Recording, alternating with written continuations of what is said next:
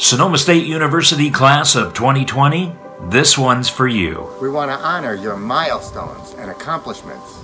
We know that all of your hard work was not easy, but it paid off and you did not give up. We know your time was cut short, but the impact you have made in your Seawolf legacy was not. Even though commencement may not be traditional this week, we are still here to celebrate you. You have made a huge impact on the Sonoma State University community and beyond. And we are so proud of what you have done and will do.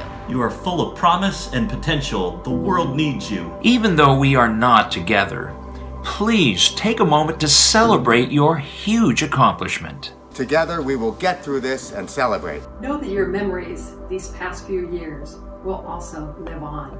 From the moment you met your best friend in our community to the passion and drive you had for your coursework and the countless memories you have made. These moments are yours forever. And even though we are apart now, our community always finds a way to come together. Together we are a family. When you come home to visit, we will be ready for you. SSU will always be your home. Once a Seawolf, always a Seawolf.